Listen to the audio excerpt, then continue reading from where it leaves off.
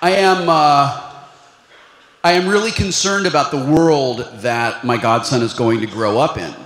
Um, I mean, it, like you know, there's all the things that we worry about, right? Like as parents and as responsible adults, we we worry about like giving uh, our kids and the, the generation that follows us, like you know, water that they can drink and uh, uh, atmosphere that will protect them and jobs and like you know we want to make a good good world for, for them to live in i'm just trying to get him through like the first 12 or 13 years of his life because he is growing up in an era where kids are obsessed with the dumbest shit in the history of mankind and I say this as a member of the Generra Hypercolor t shirt generation. Okay? You know, kids have always been judgy and shitty. It's part of being kids. But the whole swag thing that they're so worried about, and the YOLO, and the Kony 2012, I'm. I don't, I, I, don't, I don't know how he is going to navigate through this world. And I see these older kids these days that are, that are uh, you know, like 13, 14 years old, and they're so worried about that whole concept of swag. The Bieber has a swag coach. How about having a not being a fucking moron in the public coach, Bieber?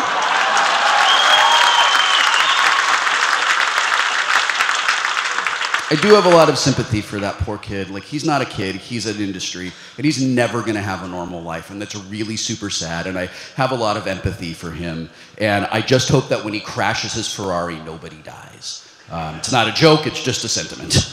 Uh, so, um, uh, I, um, I'm getting ready to come down to Comic Con, right? It's our nerd prom, it's geek summer camp. It's like, this is great. Like, this is what we look forward to every year. We're we're going to come down and we're going to be around people who love the same things that we love, the way that we love them.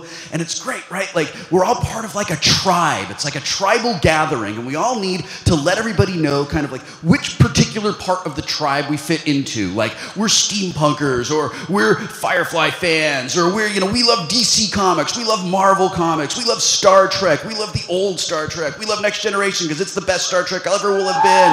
Like, and the way that we do that is like we, you know, we, we, we wave these flags, right? And our banners are like our t-shirts. So like, I fucking love Iron Man and the Avengers. Like long before the, the movies came out, I'm crazy about them. I love them. And Matt Fraction's writing on Iron Man is some of the best comic superhero writing ever. Uh, just the journey that Tony Stark has gone through. And by the way, if you like Fraction and you're not reading Hawkeye, uh, you should leave the theater right now and go start. It's so great. Um, so uh, I really wanted an Iron Man T-shirt to bring down to Comic Con, and I realized buying a T-shirt to come to Comic Con is kind of dumb. It's kind of like uh, I don't know, taking cocaine to the Playboy Mansion. Um, but but I, I, I just there was this one that I wanted because I'd seen it at Target, right?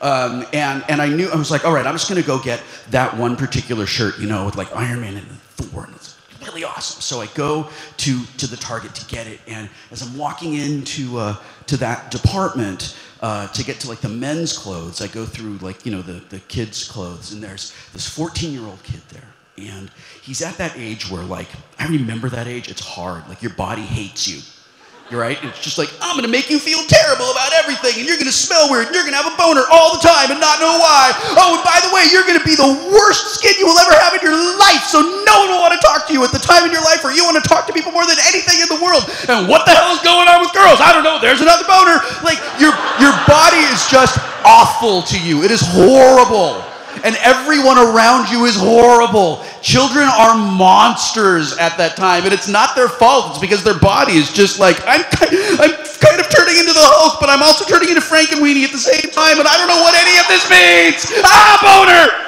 So,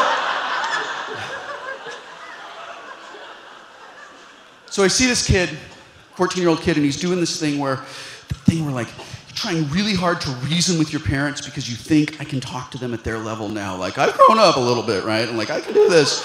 And he's like, but, and he's trying not to cry, and his mom's just telling him, you can't get, he wants this t shirt that's like, Hello Kitty wearing like a gold Run DMC style chain with, and uh, with like, uh, uh, uh, hair, like a big afro, like the guy on the IT crowd, and a big, and, and then and then big, thick nerd glasses. Uh, and it says like swag, and then down the side something in Japanese. It was like someone went, "Hey, what are all those things the young people like today? Put them all on a T-shirt. All of them? Yeah, all of them. Put them all on there and say it's swag."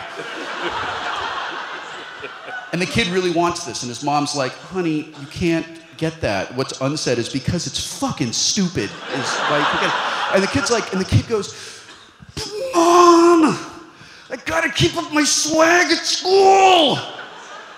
My heart just broke for this poor kid. Like, I remember, right? I remember, like, I loved Michael Jackson when I was a kid, which is unfortunate because he could have loved me back if we'd only met.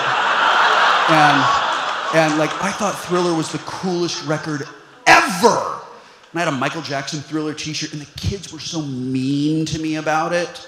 Um, and, and like, and there was, and Michael Jackson was the most popular thing in the world back then, right? If this kid goes to school in this awful, stupid thing, everyone's gonna laugh at him, right? And like, like Carrie's mom would be right, okay? That day at school ends in pig's blood. And everybody dying, it's not a good thing for anyone. So the mom is like, doesn't know what to do, and the kid's like really at his wit's end, and I'm like, you know what? I got this. And I walk up to the kid and I go, hey, dude, come here.